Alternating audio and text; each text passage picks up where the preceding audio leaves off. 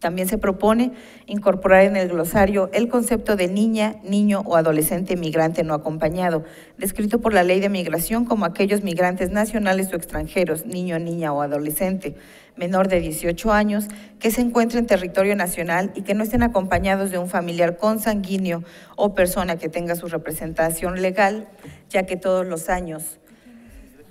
niños, niñas y adolescentes solos, solos transitan por nuestro estado ya sea para dirigirse a la frontera norte o para ir a otro estado.